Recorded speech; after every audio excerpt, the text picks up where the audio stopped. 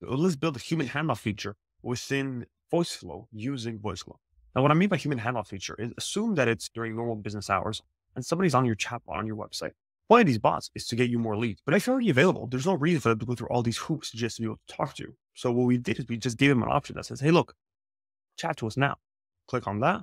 Now, what's actually going to happen is I'm going to get a notification saying, hey, look, somebody wants to talk to you. And if I check my email, it says, hey, Roger, somebody's requesting to chat with you. All I've got to do is just copy this link, go back into my browser.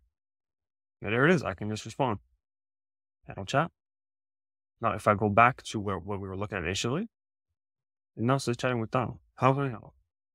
So let's go ahead and build this. All right. Well, there's a couple of steps to actually do this. But by the way, all the templates, every single like thing that can be copied and pasted will also be available in the resource hub. So you don't necessarily have to rebuild anything yourself. The first part of what we want to do is I'm assuming that you're using VoiceFlow, but if you aren't familiar with VoiceFlow, you're going to want to get familiarized with it because we use it for basically every single project that we have. This is what allows us to embed Calendly links, like I made in the last video. This is what allows us file uploads so that people can put pictures in your assistants and actually send them to you. You can play YouTube videos. And as we're going through this demonstration, I'll show you, you might notice a couple different features that we're using using VoiceFlow. That's all in the same software. And I think I think we paid maybe like five bucks for it. Initially it was free, but point is is well well worth the money. Now I'll put the link to VoiceFlow in the description, but once you've actually signed up for it, you're gonna want to go ahead and download this template. And what that's basically gonna do is gonna look something like this. Now, once you've actually downloaded that template, go ahead and import and using this button within VoiceFlow and then bring in that template. It should say VG 0.9.0.3. Now, once you actually click on that, this is part one. Let it load and then just go to designer. Click on VG handoff initialization. And you'll notice this is also where you get every single other embedding tool that we're, that we're using. So if I click on VG components, this is where you have file upload, you have your website embeds, iframe embeds, and multi-select options, which you won't be able to do. If you want people to be able to select two different options from a, a list of dropdowns, you can have, you know, browser data, some more technical stuff, dynamic carousels, etc. It goes on and on and on. The one that we're actually interested in today is the initial, initialization flow. So all you want to do is, this is a couple of things, but all you want to do is use this mode type here, click on trackpad and just select this entire thing. Copy that into your existing VoiceFlow assistant. So I've got the plumbing assistant that we actually made in the last video, which basically allows users to either book appointments using a Calendly embed, using VoiceFlow, or also embedding YouTube videos for if somebody has a common problem. The word that we used was a toilet leaking. So if somebody says, hey, look, my toilet's leaking, you'll present them a video of how to fix it within two or three minutes. And lastly, if somebody had an issue with the service that was provided, they can find a place here to actually complain instead of just venting it on Google, which for most local businesses is kind of like the lifeblood of their company. So any way that we can help minimize or mitigate people venting on Google is a win. Click on your plumbing assistant or whichever assistant you're using for this. Click on home. But basically all you would do is just copy and paste it here. They're going to look something like this. And I'll delete the old version just to show you. We've got a couple of cards here. The most important one, you can basically leave this as is, except for one, which is the intent. Now I deleted the other one. So we're going to create a new intent here. Now what the intent is, is basically when does VoiceFlow trigger this intent? And what this is going to do is that if ever at any point somebody said within the conversation, I want to talk to somebody, I need help, or anything along those lines where they clearly mention that they want to talk to a human, we want this to trigger at any point in the conversation. So all we're doing is we're, creating, we're pressing on select intent, select trigger intent, and I already have one, but I'll create a new one. I'll call handoff two triggers when user wants to talk to human. Now, the utterances is the most important part of this whole intent creation. It's basically saying, hey, look, if somebody says something re- relatively close to these lines, I want to trigger this intent. For example, we use, I want to talk to. Or, for example, you could put, I need help. I talk to someone. And then what I do is I just press generate 20 sample phrases. And I'm going to use a bit of AI to create other related phrases to the ones I just gave. So is there a, re- a, real person I can speak with? I require assistance. Can I transfer this with my agent, et cetera, et cetera, et cetera? All this. I would just go through these sample phrases, make sure there's nothing in there that you don't want to be there. This all looks good and you need help. You can transfer it to human. Perfect. Create intent. That's pretty much all we got to do. Because now what it's really telling is at any point during this entire conversation, this is the rest of the voice flow assistant, by the way, which we made in the previous video. So if you want access to this, you can either watch that video or you can click this, the link in the description and it'll be available as well. But what we're doing is that we're saying essentially in any part of this conversation, I if I say talk to a human, it'll take me here. And I'll show you what that looks like. I do press on run. So I'm trading. I train the system. Now this is important. Give it a few seconds. Perfect. Now when it's trained, I can do run test. Now if I say book appointment, or let's say my twin's leaking. Right. Let's say I do talk to human. Now normally this wouldn't be an option, right? It would take me to the failsafe. But now if I've done talk to human and I've done it correctly, it should actually take me to the talk to human. Actually, no, it did Why is that? I click on human handoff, available from other topics. Okay. That's gotcha. So the mistake here was now make sure when you're testing these out to listen for all intents, not only on this specific step. Now what this does is between both of these, especially if I'm in this card, basically this allows you to tell voice flow. Are you listening to intents across the entire system or only within this step? So make sure you press that, otherwise this will not work. Listen for all intents. And then if I do run again, run test, toilet leaking,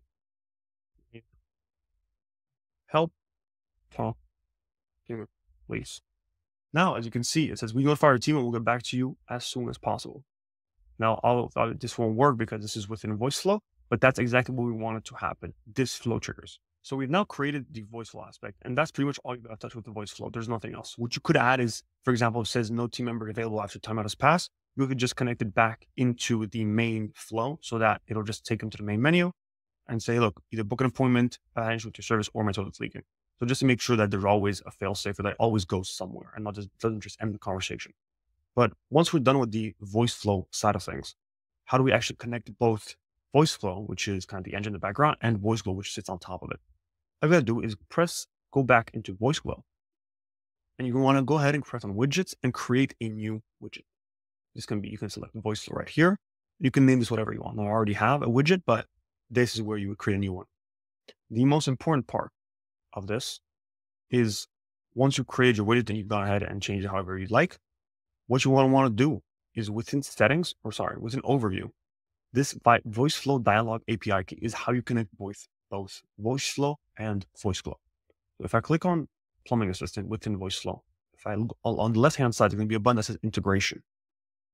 Right here, if I click on API keys, this API key is what I go ahead and press here to, I just basically press, basically I paste it here. This is what connects both. That's all you've got to do. Now, once that thing is connected, you'll be able to use voice glow as a additional layer on top of voice flow. Now, a little thing I didn't mention within voice flow as well to make things a bit more, a bit better. So some, some customization features within the request handoff um, card, you can actually press on action body and right here, you can change the timeout to an indefinite number of seconds. We've got set at 60. You could put it at 30. I think 30 would be better just because it would seem more human. If I'm waiting there for 60 seconds and nobody's there, I won't be super happy. So I would maybe suggest it just lower down to 30 so that worst case scenario, if somebody isn't available, they're not, they haven't just wasted a minute staring at their phone waiting for somebody or to tell them, hey, look, there's nobody here. But we've now connected voice flow to voice glow. Going down, going down to here, we're pretty much done with the voice side of things. All we're going to want to do now within voice glow, and I know the names can be kind of confusing, but click on voice glow. And then if you don't already have an agency account, this is where you're going to want to go ahead and create one. Click on agency on the left hand side, and then basically just create one if you don't already have one. You can connect your domain here as well, which basically gives people access to a dashboard, be able to see analytics, that sort of thing. Part that we're concerned about here though is press on email. And now this is where you're going to want to go ahead and actually input your domain. So your website basically, or whatever you have control of using GoDaddy or Squarespace or your domain provider. What it's going to tell you to do is once you actually input your domain, it's going to give you a bunch of DNS records. All you're going to want to do after that is go to a website like GoDaddy, which is where we have all our websites. And the most important part within GoDaddy, what we're using as our website provider, is the DNS settings. So all you've got to do is within VoiceFlow, take these records, which is going to be, I think it was two texts and one, uh, I think it was an A record, but there's three records going to be shown. Go to add new records, put exactly what they tell you right here, choose the type, choose the value, or choose a name, choose a value. To be three of them. Press save, give it a few minutes, and that, and that will basically allow you to send emails from your custom domain to whoever you need to notify that there's somebody waiting for their assistance. So that's how you connect the email portion of it. Next step is actually going to be to create an organization, and then within that organization, create a client, and then put uh, the widget within the specific client so that VoiceGlow knows where to send different email requests for different helpers. So going back to VoiceGlow, you want to go to clients, and you're going to want to press new client. This now the most important part here is to press organization. This is what you need, make sure you have an organization set up. We got Roger two example. Let's add this. Now, importantly, you can drag, I've already got this widget right here, but usually it will be on the right hand side. Just take your widget, drop it wherever you like. I'll drop it back here because I've already got the setup. All right. Now, within your organization, this is where you would add users. So people who would actually be notified that somebody needs to know about their assistant or somebody requiring help. Gotta do is add user, and then you can put, put in their name, their email. This is also the password that's being generated for them. So just go ahead and send that over to them. Or if you're creating this for your own business, you can use this to actually log in to your dashboard or admin. Do a couple different settings here. Not super important. The most important one is just email, password, and the name. Once you've gone ahead and actually added this user, that person will now be the one who receives the notifications. So I'll go ahead and add myself, tmlmike.com, and then add user. I've now added uh, user. So that's the organizational side of things, or that's the agency and client side of things.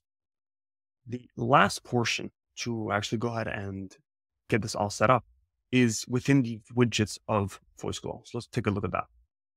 Now, with all you gotta do is press on widgets and then just search up the widget you just created. You should only, this is your first time using VoiceGlow, it should be basically the only one. Click on your widget again, and then click on settings. Within settings, there's going to be three things, settings that you want to take a look at. First one is going to be enable human, human handoff pop-up. Basically, do you want people to have this handoff that pops up? If you'll remember, within VoiceFlow, we created a, um, a flow where if somebody along long conversation says, I need to talk to a human, it will do it in case. But that doesn't necessarily mean that you have to make it a like market the fact that you guys can talk live chat. It's really up to you. If you want people to talk to you all the time, you can enable it. If you don't want to, you disable it and it won't show up. But if somebody still says, hey, look, I want to talk to a human, it will still initiate that flow, letting you know that somebody wants to talk to you. For this example, let's keep it on. You can either do always show it or the cool part about VoiceGlow is it will actually take into consideration whether the browser is, is on. So if I'm logged into my dashboard, it'll say, hey, look, online or offline. If I do always show, it means regardless of the time, regardless if you're online, regardless if you're offline, people will still be able to request the opportunity to talk to you.